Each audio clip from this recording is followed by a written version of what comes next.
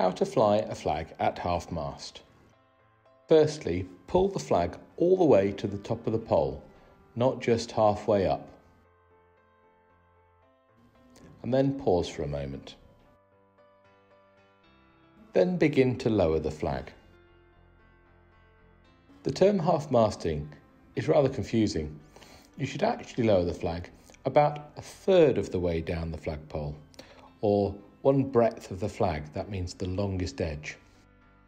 Once lowered and in position, secure the flag in the normal way, ensuring that the halyard is very tight. Your flag is now flying correctly at half mast. For more advice, please contact our experts today.